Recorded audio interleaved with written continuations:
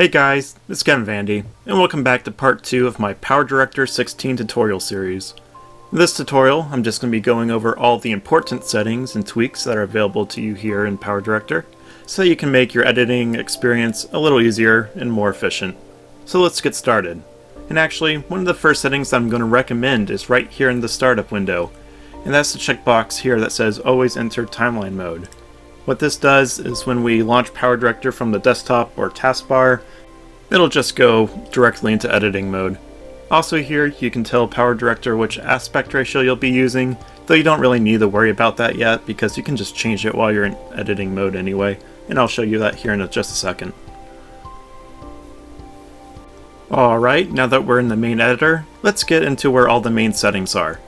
Up here in the title bar, you'll see this little gear icon. This is where all the main settings are stored, but notice right next to it, we can change the aspect ratio right here to either 4x3, 16x9, vertical video, or the 360 degree editor.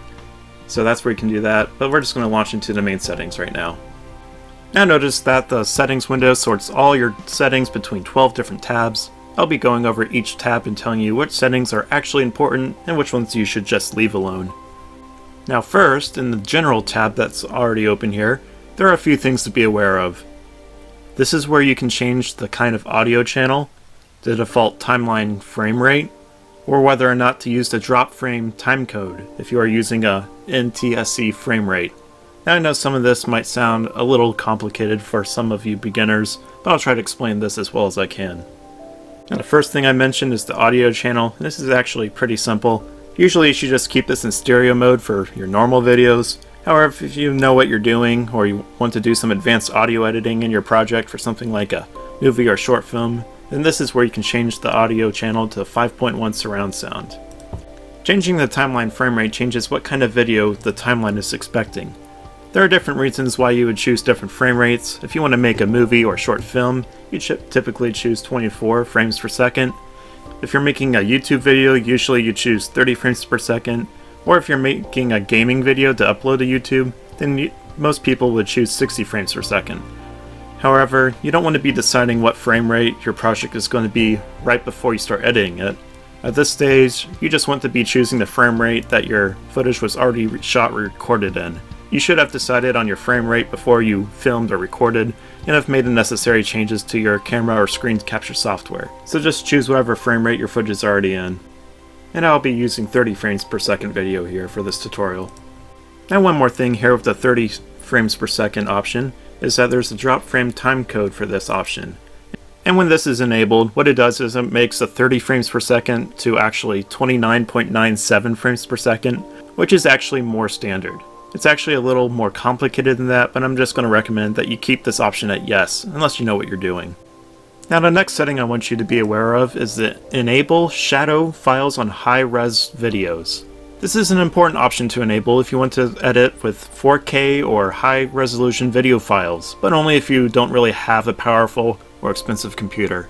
What this does is it will temporarily convert your high resolution files into temporary low resolution files behind the scenes of PowerDirector, so that it will be a lot easier for your CPU to handle while you edit in your timeline. Really, if you have an average computer and you're just editing in 1080p or lower, you should just leave this option off. But if you ever find that you are having a hard time getting your video to play smoothly in the timeline, remember that this option is here.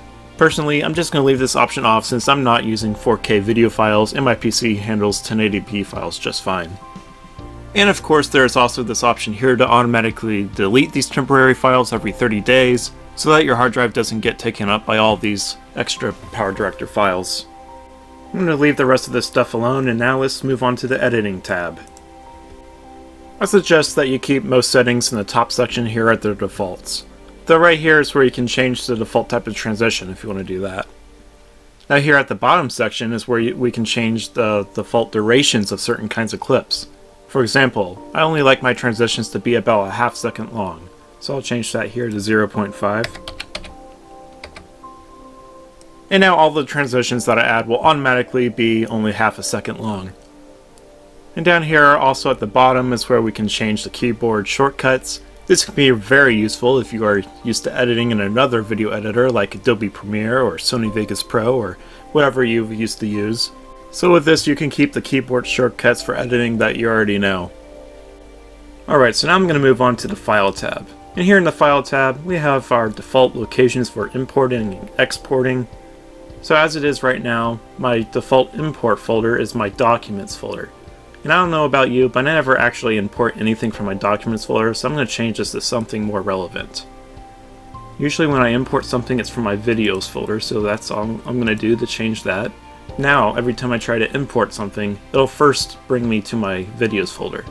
And I'm going to change my Export folder to something more relevant too. Right now it's just in some crazy subfolder in my Documents folder.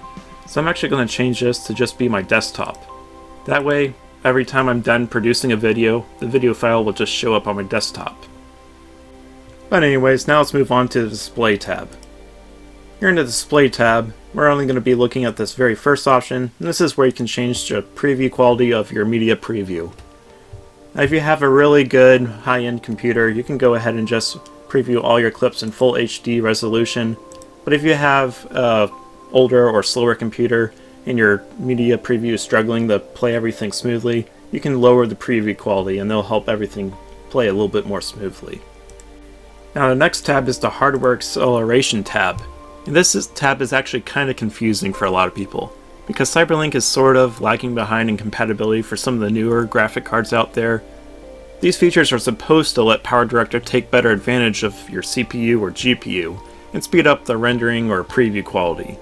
Now for most of you who have both a good CPU and a good GPU, this is going to really help you if you enable both of these features. However, there have been some problems for people out there who have either old AMD graphics cards or newer NVIDIA graphics cards. I've seen some reports on the Cyberlink forum of people with older AMD cards that when they enable hardware acceleration, it'll crash PowerDirector and they can't even start it up again. I myself have spent a fair amount of time trying to get my NVIDIA graphics card to be used by PowerDirector, but it looks like it just isn't supported. This isn't really that big a deal since my CPU is also really good, but before you enable these, you might want to do a little bit of research on the Cyberlink forums. I am going to just go ahead and enable these since I've tested it and they actually work okay. I do get a warning box here telling me that I need to keep my graphics driver up to date, but I already do a good job of doing that, so now let's just move on to the project tab. Now this tab actually has two really important settings I want to point out. First, we want to make sure that the autosave project is enabled. And I'm going to set this just to the minimum of two minutes. That way, every two minutes it will be autosaving my project in case the PowerDirector crashes, which I almost guarantee is going to happen to you at some point in your editing career. Now the second feature I want you to see is this automatically loads sample clips when PowerDirector opens. And when this is enabled, it is automatically loading all these sample clips here in the background. And most of us really don't like this. So when we uncheck this, now whenever PowerDirector starts up, and our library will only contain footage that we ourselves import. Additionally, notice there's also a setting here that says automatically load the last project when PowerDirector opens. When this is enabled, PowerDirector will automatically open to the most recent project you're working on. Now this can be really useful if you're working on the exact same project for months at a time and you just want to load up the project really quickly. Now on the Produce tab, I'm actually going to recommend that you enable the first three settings here.